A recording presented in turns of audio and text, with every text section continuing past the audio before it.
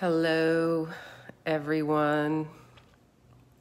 I have been meditating on the scriptures today, and I know I normally don't get on here on Fridays, but I missed getting on here yesterday because I had a little emergency. I broke a contact lens in my eye. This is the second time I've done this, and it was extremely painful. Had to go to the eye doctor, and actually, they had to fish it out of my eye. So that was a fun day and kind of took me by surprise. But nevertheless, my eye is feeling better. Uh, they weren't sure that they got it all. I think maybe they did, or some of it came out on its own, but um, my eye is better, praise the Lord. I meant to come on yesterday and just share some thoughts about prayer. And, um, you know, the Lord has really been laying some things on my heart lately about prayer and the importance of prayer. And I've been meditating on this one particular parable all week um, in Luke chapter 18, the parable of the persistent widow. Maybe you know this parable, but the Lord brought it to remembrance because there have been so many things lately to pray about, and so many people that I know lately that are just going through devastating times in their lives. And I don't know about you, but lately, the Lord has been waking me up in the middle of the night to pray for different people. He'll just give me names and wake me up during the night to pray. And sometimes during the day when I'm cleaning or, hello, Sister Myrna, glad you're here. Sometimes when I'm cleaning the house or taking care of, you know, the daily business of life, the Lord will bring people to my mind that um, He wants me to pray about. And so I stop and pray for those things. And I'm noticing in this season now more than ever that I, in particular, am being called to pray more. I don't know if you guys out there there are experiencing this too, but it seems as if I'm praying without ceasing lately. And the Lord just keeps bringing people to my heart and mind and waking me up in, in the night to pray over those things. and I just know some people right now, they're just going through really difficult times sickness, um, things that are just totally out of their control. And, you know, what do you do in those situations? You pray that when there's nothing you can earthly do to help the situation, I, I pray. And I had a sister overseas send me an email yesterday from India, and she said India is just devastated right now with COVID. And she they're basically being told to stay in their homes and not come out. The markets are shut down, there's no food. And if you've ever been to India, it's already a, a poverty stricken nation. And so to have everything shut down and no markets open, it's just devastating to the poor there. And she was just reaching out and saying, Can you please pray for me? And and those I work with. And she sent me a whole list of pastors who have either lost a loved one or has died themselves. And um, she, I could just sense the pain and the heartache in her email. And then, you know, I have various friends who are struggling with health concerns, cancer, and my you know my own husband um, is um, going through radiation treatments right now and various family members going through different health challenges and struggles. And so there's much to pray about. And I mean, just what's happening in our own country right now with the border. And then I, I saw on the news today that 90 people were found in a home in Texas who had been smuggled into our country and they were nearly starving to death and, and hiding in a home. This, this has got to break the heart of God, and it has to break our hearts if it breaks God's heart, right?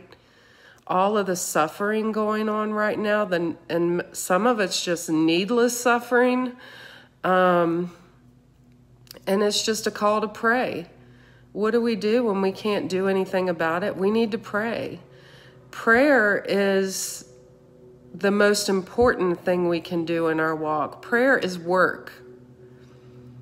And prayer is concentrating and focusing on, you know, the Lord and what He can do. You know, the Lord can do more in five minutes with a situation than than we can do in five years. And I don't know why we don't go to Him first, right? But I was reading this parable and it made me think about a few things. And then I want to pray. And yes, Myrna, I will pray for your unspoken request. In Luke chapter 18, and I hope you'll go and read this. It's a very short parable, but it's powerful. Then he spoke a parable to them that men always ought to pray and not lose heart. You know, prayer strengthens us in our inner being. Prayer um, lifts us up in dark moments. I can't think of a time where I ever went to the Lord in prayer brokenhearted, where He didn't touch me in some way to make me feel better after praying. There was in a certain city a judge who did not fear God nor regard man. Now there was a widow in that city, and she came to him, saying, Get justice for me from my adversary. And he would not for a while. But afterward he said within himself, Though I do not fear God nor regard man, yet because this widow troubles me, I will avenge her, lest by her continual coming she wearies me. So, this unrighteous judge who didn't care about God or men at all um, basically said, I'm going to answer this widow's request because she's driving me crazy, right? But the persistence of that widow, think about it. The persistence of that widow constantly coming got her what she needed. And this is a lesson to us as believers the persistence in prayer, the persistence in going to God and not giving up. I think sometimes we quit praying at the moment when God is ready to do something big and there's about to be a breakthrough. We quit, we lose heart, we lose faith, we, we grow weary. God is saying, See it through. See it to the end. Be like the persistent widow. Just keep coming. Don't give up. Keep working at it. Prayer is work. We're required to do the work. then the Lord said, Hear what the unjust judge said. And shall God not avenge his own elect who cry out day and night to him? Though he bears long with them? And shall God, who is the righteous judge, who we cry out to day and night, who bears with us in our burdens, I tell you that he will avenge them speedily.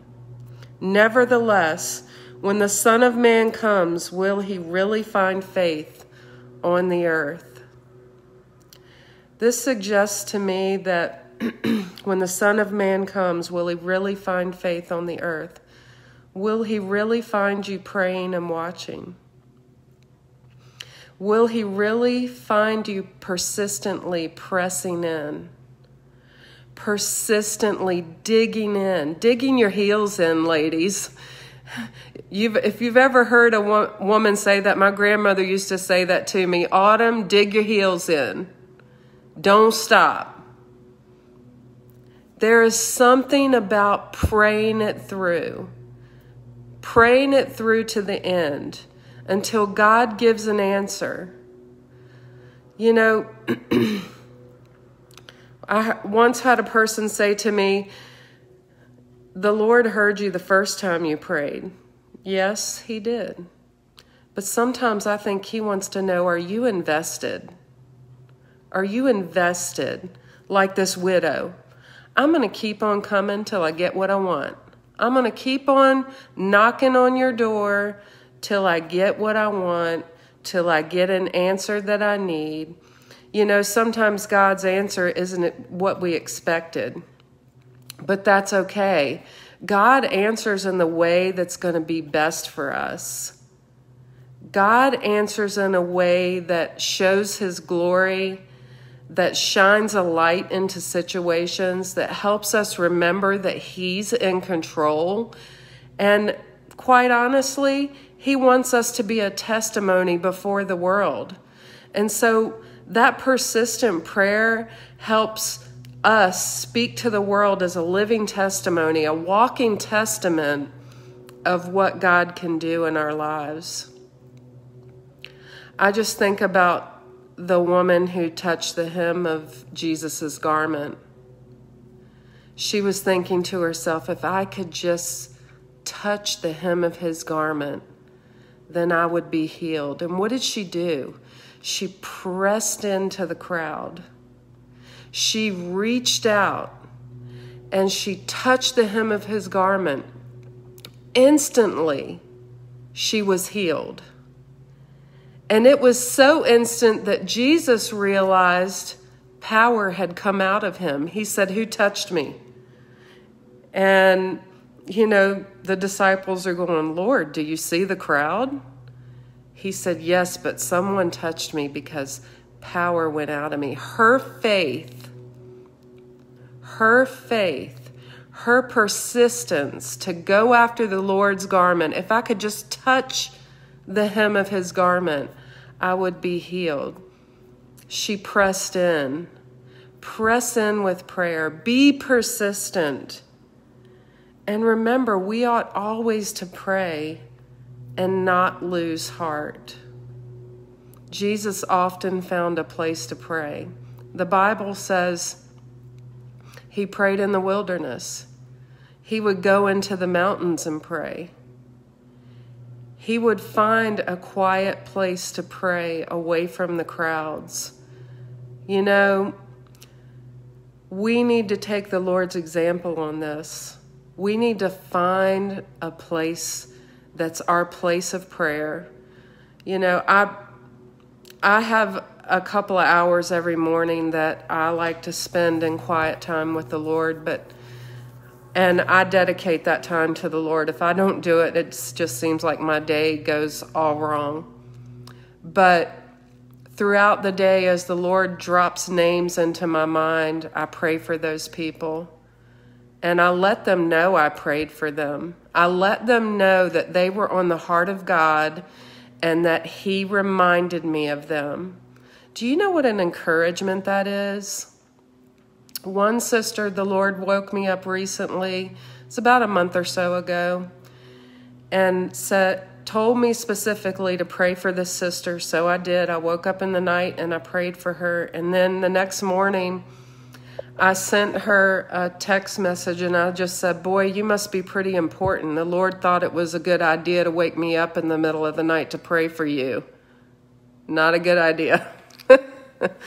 but I did pray for her and I found out she didn't answer me for a day. It was maybe a day later. She said, You have no idea what that meant. She said, I just received the worst news of my life and just knowing that I was on the heart of God, and you reminded me that the Lord was thinking about my situation. And so you never know why God is asking you to pray for someone.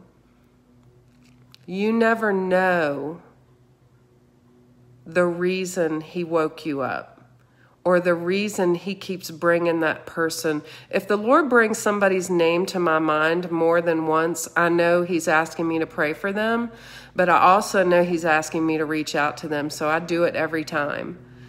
And he has never failed me yet in letting me know through that person that it was at a critical moment that he had me pray. So just remember that. You know, I believe that we are all supposed to be watchmen on the wall. And part of being a watchman on the wall in the kingdom of God is to be praying, interceding for one another, interceding for the troubles in this world, interceding for lost family and friends, interceding for lost souls. The kingdom of God is about bringing as many souls in as we can we have to stay in touch with what our mission is in the Lord, and that is to pray and seek out the lost and tell them about Jesus so that they can be saved. Amen. Yes, Sister Corliss, I I know exactly how what your what situation you're in. My mother has dementia and I will definitely be praying for her. And Sister Myrna, I'll be praying as well for your unspoken situation. So I'm going to close with this. Just remember persistence. Sometimes all it takes is just a little whisper prayer. One time I remember I whispered a prayer. Um, I just wasn't happy with um, the current situation in my life. This was a few years ago. And I just remember saying to the Lord, Lord, if you change this, I will dedicate my work and my heart and service to you. It, that's all I said. It wasn't any big theological prayer. You know, I didn't see fire come down from heaven. It was just that simple. And the next day, literally, the situation was turning around and I saw God opening a door that I never saw open before. So you see, don't give up. Be persistent. Pray for the people that God puts in front of you. You know, don't give up on your situation. Pray for your situation. God wants to work in those things, and He wants to get all the glory for the work being done. Amen. Amen. So, Father, I come before you thanking you and praising you, Lord, for your goodness, first of all, because you are a good, good Father who only knows how to give his children good gifts, because you are the Creator God of the heavens and the earth. You knit us together in our mother's womb, Lord. You knew us before we were born. You formed us from the dust of the earth and then you breathed life to, into us. Surely, Lord, if you can do all of that, you have the answer to our needs, you have the answer to our problems. Lord, I just lift up Sister Corliss's mom to you. And I just pray for you to touch her in her heart, mind, and soul, Lord. I just pray that you would speak to her body I pray that you'd bring her into her right mind. Lord, I pray that you will just encourage her in the spirit. Father God, you have you are the creator God. You knew how she was created. You knew you know what's going on in her body. And so Lord, we fully trust in you for the healing that can take place. In the meantime, Lord, I pray that you would encourage Sister Corliss. You would give her everything she needs as she cares for her mother, as she watches over her health care, as she watches over her life, Lord. I just pray that you'll give her every provision that she needs so that she can care for her mother effectively. Lord, I lift up Sister Myrna's um, unspoken request. You know what's going on there, Lord, and you know the need. Lord, you are able, we believe you are able to do great and mighty works concerning this unspoken situation. Lord, your arm is not too short that you cannot reach down and save in this situation, Lord. I just pray that you would cover it, that you would give my sister peace, the peace that passes all understanding I pray that you will show her that you will never leave her or forsake her, that you are able to give beauty for ashes, that you are able to give back the years that the locusts have eaten, and that there is nothing too hard for you. Lord, we thank you ahead of time for what you're going to do. Lord, I just pray for breakthroughs in the lives of those who are watching. I pray for prayers to be answered. Lord, I pray that you will teach us to be persistent in our prayer life. Teach us to pray and not give up. Teach us to pray and not grow weary. Teach us to keep knocking, Lord, until the answer comes. And Father God, help us to remember that you will grant the request in your time. Help us to remember, Lord, that you love us more than any anyone on this earth could possibly love us, and you are deeply concerned with our hurts, our needs, our provision, our health, our finances. Lord, I just pray over every aspect of our lives, Lord. I rebuke anything that the enemy might come against our finances. I break those assignments in the name of Jesus. I break the assignment of discouragement over some. I break the assignment from the enemy of depression over some. In the name of Jesus, I pray for healing, wholeness, and a sound mind.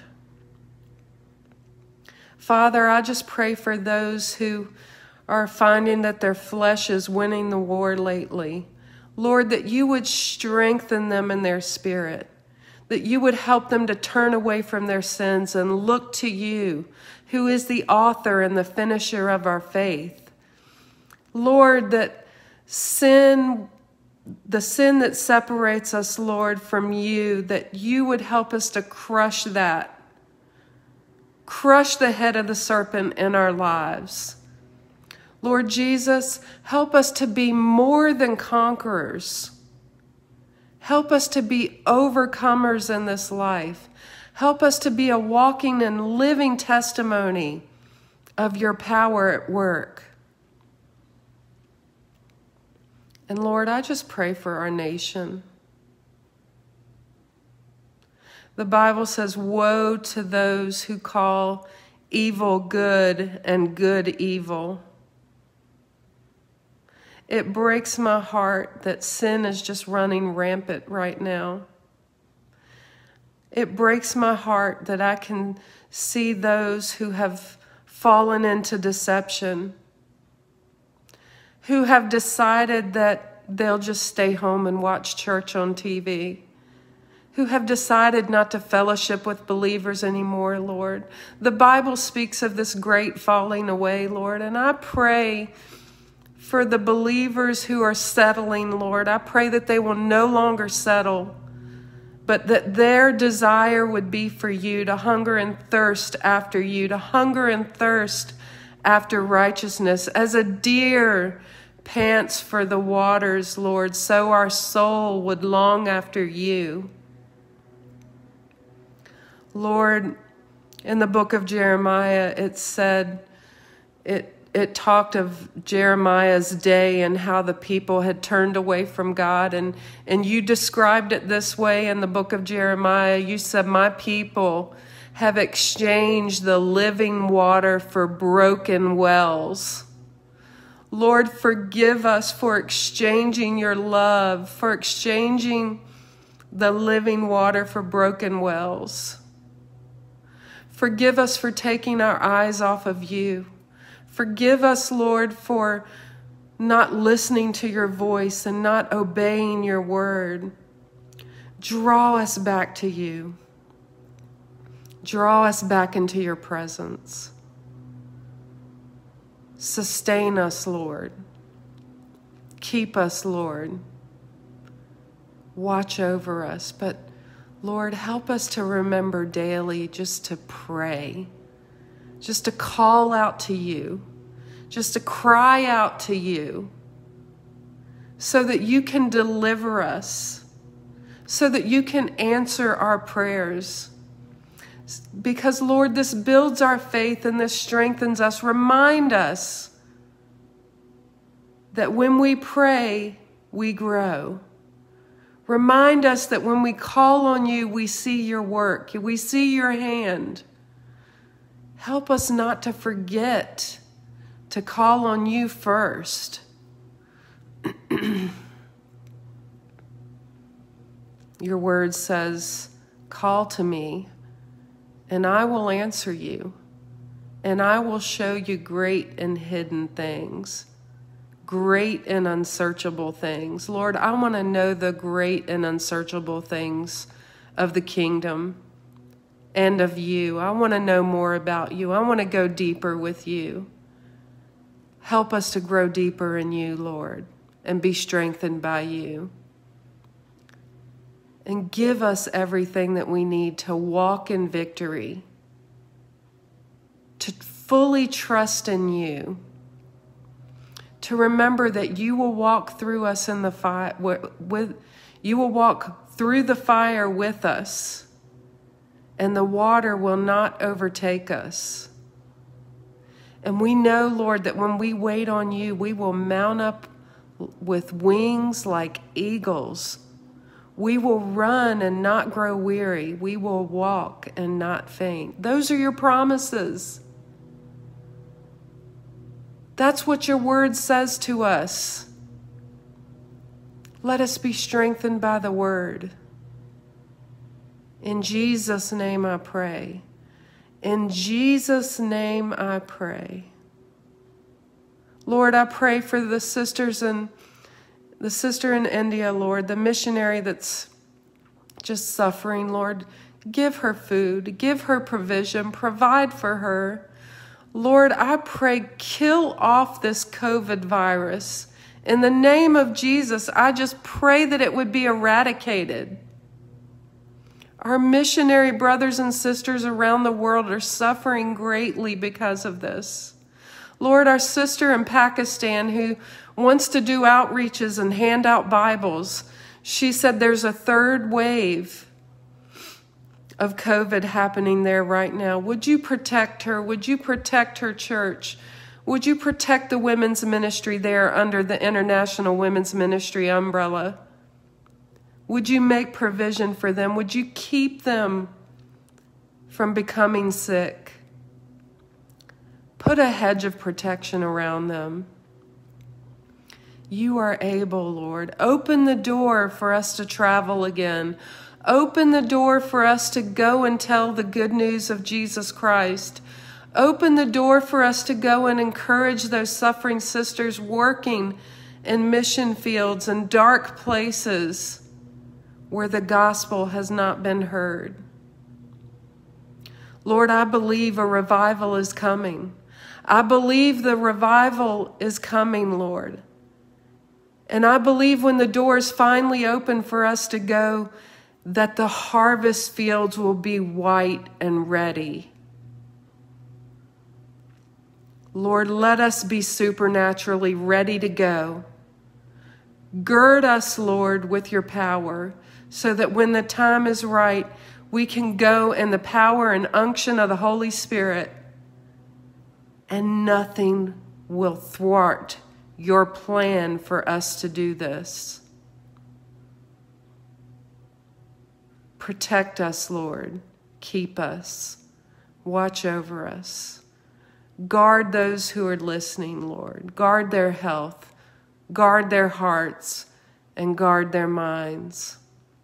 In Jesus' name I pray. Amen. Amen. God bless you all. Thank you for hopping on here and, and praying with me. And listen, anytime you have something you want to pray about, just kick me a message. I believe in this season I'm going to be praying and interceding for others, and the Lord has great things on the horizon. Soon the doors will open and and we believers are going to have to be about the Father's business like never before. And I don't know about you, but I'm praying that I will be equipped to do it. I don't want to waste any more time, have any more idle time doing frivolous things. It's time to be about the Father's business. Amen. Amen. God bless you all. Have a great weekend, okay?